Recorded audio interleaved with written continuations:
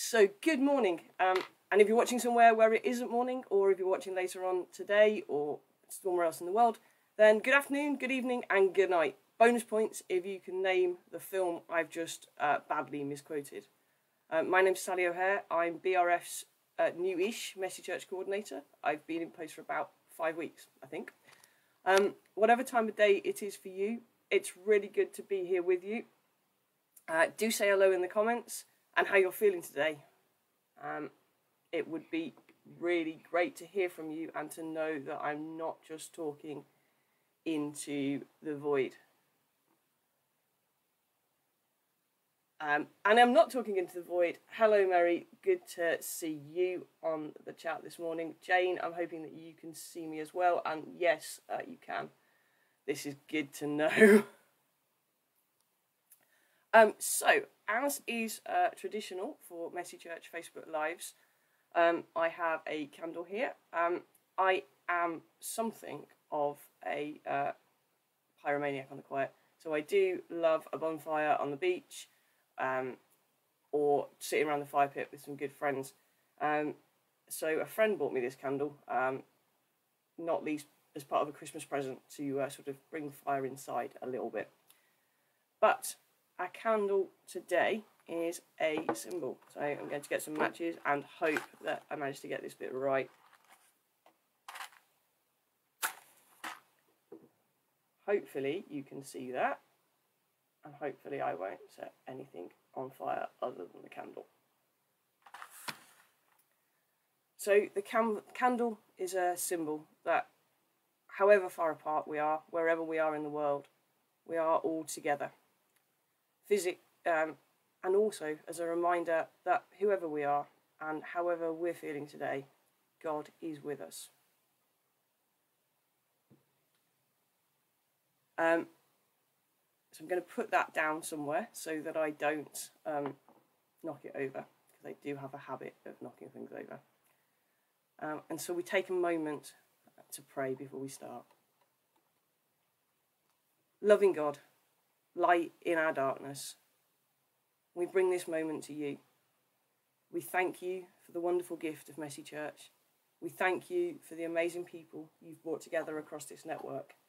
And we thank you for the chance to take a moment to be together with each other and with you in the midst of this day. Amen. Oh, lots of comments. Hello, Jane. Hello, Sandra. Hello, Caris. Hello, Jocelyn. Uh, excellent. Thank you so much uh, for joining us this morning. I'm not talking into a void. Um, so, uh, a little bit about me. Um, I grew up in Walsall, which is a town just northwest of Birmingham in the UK. Um, I ran away to the seaside to go to university. I spent three very happy years in Aberystwyth uh, and then moved back home. Um, I've been part of the team at my local Methodist Messy Church since it began in 2013, and it's been a really joyous part of my faith journey. Before I joined BRF, I worked for uh, Network Rail um, as a project manager, upgrading various parts of the railway network. Um, so starting this role has been a bit of a change for me, uh, but I have to say, I am loving the chance to, as a friend uh, kindly put it, do Messy Church full time. Um, always a bit odd in terms of what to say, in terms of bio bits, but a few other random facts about me. Um, I love watching sport, particularly football, rugby, and cricket. A very tragic confession. I'm an Aston Villa fan, so I spend fairly large parts of the football season really quite disappointed. Although, actually, it's not been so bad this year. So, you know, keep your fingers crossed, or don't if you're a Blues fan. Um, I do also love playing sport. Um, at the moment, as the weather's starting to improve, I've got back to playing tennis very badly. Um, fortunately, my tennis partner is on about the same level as I am, so we get a really good workout chasing tennis balls that we failed to hit across the tennis court. Um, but aside from that, and aside from Messy Church, in my spare time, I'm a guide and a rainbow leader. Um, I know there are some fellow leaders in the Messy Church network. Um, if you are a guide, rainbow, brownie, ranger, Girl Scout leader, um, do give us a shout in the comments. Um, even if you are not a current member of Girl Guiding, I suspect you may well know the Girl Guiding motto be prepared. There's a big bit of me that really likes to be prepared. In my previous job, we'd spend a lot of time preparing for and planning key bits of construction work to try and make sure that it all happened at the right time, in the right order, and in a safe manner. And you will all know that being prepared is a big part of a messy church going well too. We need to know what activities are happening, who will be buying or borrowing what's needed, what time the food needs to go in the oven, how we play music during the celebration, etc., etc., etc. And I bet your list is as long as mine, most messy churches. And sometimes I manage to do all of this being prepared really well, or at least better than other times.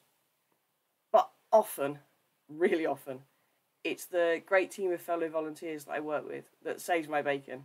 That remember that the jacket potatoes need to go in the oven before the session starts if we're going to have them for tea at the end of the session. That remember that we really, really, really, really need to put the paint away after it's been used because otherwise we get to spend an extra hour cleaning the carpet when we should be on our way home.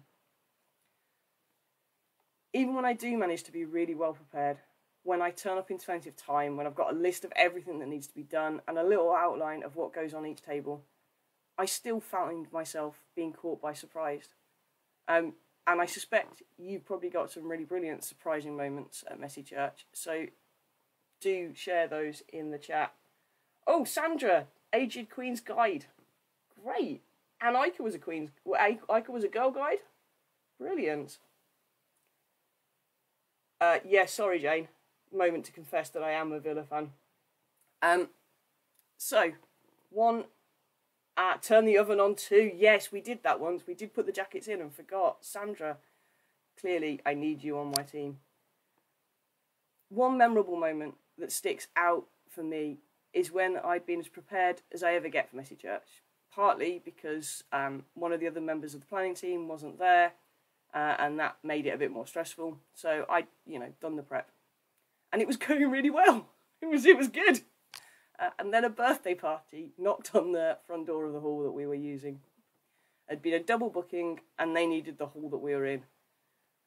Uh, and I say now, after a few moments of panic, I'm convinced it was several minutes, but we figured we could manage in the foyer and the two smaller rooms. So we picked up the activity tables, lock, stock, and barrel, uh, and we shifted everything with the odd small child still attached to the tables. That messy church stands out for me not because it went wrong, or at least it didn't go as planned.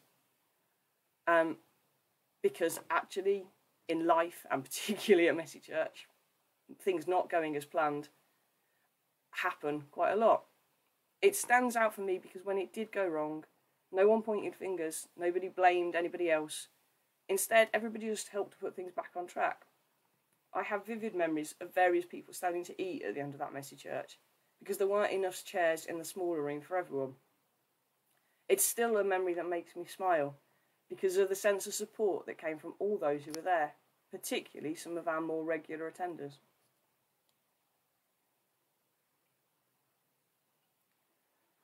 Um, just having a quick look through the comments. Oh, we seem to have got into a discussion thread on glue spreaders and the best ways to remove glue. Uh, was a Baden-Powell Trefoil era guide. Excellent. Um, quite liking this discussion thread. Glue and uh, Baden Powell. An interesting combination. Um, but that story also highlights for me the other side of the being prepared coin. It's really great for us to be prepared. It's really, really important. But it's equally important not to lose sight of God's role. We need to make space and to be prepared for the Holy Spirit to be at work during messy church to look out for and celebrate those moments when God's love shines through.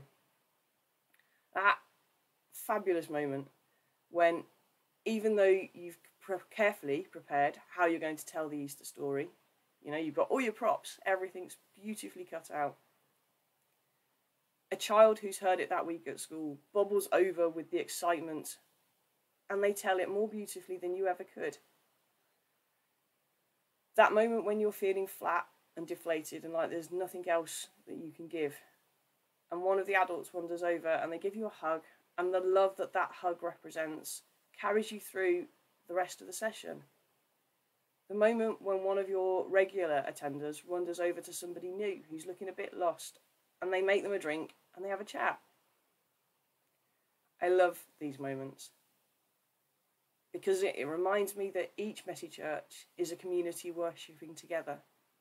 It's a great example of living out Paul's words in Corinthians. This is the message version, but um, use whichever copy you feel comfortable with. When you gather for worship, each of you be prepared with something that will be useful for all. Sing a hymn, teach a lesson, tell a story, lead a prayer, provide an insight. Take your turn. No one person taking over. Then each speaker gets a chance to say something special from God, and you all learn from each other. If you choose to speak, you're also responsible for how and when you speak. When we worship the right way, God doesn't stir us up into confusion, He brings us into harmony. This goes for all churches, no exceptions. I'd love it if you'd shared your thoughts on this passage in the chat. Oh, Sandra, thank you. Amen to space for God, absolutely key. Uh, and Iker says, yes, we need to make space for the Holy Spirit. Uh, Vicky is taking her fun with glue spreaders where she can. Thanks, Vicky.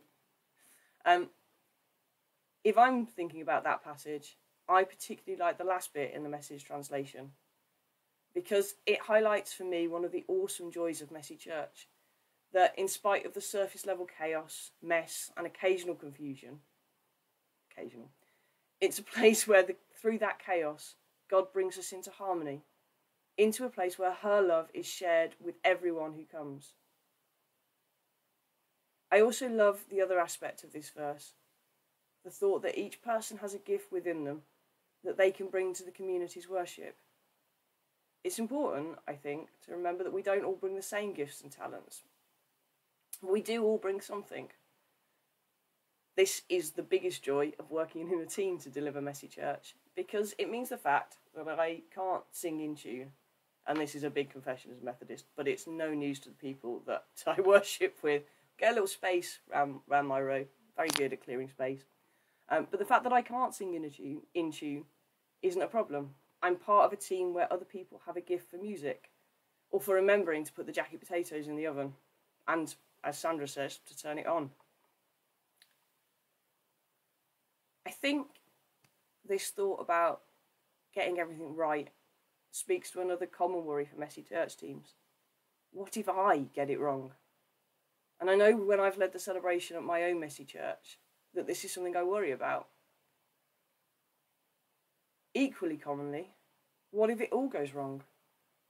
What if everything goes to pot at today's messy church? And I think for me, the thing I remember for both of those questions is that this is not our work, it's God's work that we have the joy of helping with. It's okay to take a risk, to try something new. If it fails, that's okay. Something different may grow from that failure. God may use it in unexpected ways or may not. But either way, holy risk taking is a good thing. Thinking about using our God given gifts brings me to the last of my thoughts for today. It's just about two years since the very first Facebook Live, right at the start of the pandemic. And for some of us, it's starting to feel like we're emerging from the last two years, while some people are still feeling a sense of fear and uncertainty. Even though COVID is dropping out of the news, it's not particularly gone away. And there are other things in the news at the moment which feel equally worrying. We think particularly of the situation in Ukraine. For some of us, Messy Church is just restarting. For some, it's never stopped, but it has changed. And some may not have restarted and may be working through what to do next. For lots of us, there is, I think, a feeling of spring, a feeling of preparing for a new beginning, which does work rather well. Because we find ourselves in Lent, a time that Jesus set aside to prepare for his new beginning. So, as we find ourselves at the start of a new season, it's time to ask what do I need to do to be prepared? What do I or my team need to resource this new season? do we need to set aside some time to reflect together as a team on what we've learnt and what we'd like to change going forward? Maybe you'd find it helpful to join one of our masterclasses. Um, I know James put the link for that in the chat, so do have a look at those. It's a chance to learn from others right across the Messy Church network. Maybe now is the time to sign up for our Messy Church conference in May and take the chance to be re energized and revitalized as we celebrate together. Link again is in the current comments. I've seen a couple of people. I saw Caris say she was definitely coming to conference. We really do look forward to welcoming you to that wonderful opportunity. Maybe you and your team need to consciously take time this Lent to be still and to listen for God's voice. We'll be posting once a week as we go through Lent with ideas on ways to take a moment to be still and to reflect. Whatever you do, we'd really, really love to hear about it. And we'd particularly love to see you in May because it really will be a great weekend. I'd like to say thank you for joining um, me and joining everybody else for this Facebook Live or for watching it back later. Um, it's great to have you here either way. If all goes to plan, we'll be back live on the 13th of April, um, and I really look forward to seeing you then. Um, I finished 10 minutes early, so you get 10 minutes of your day back. Thanks very much, everyone.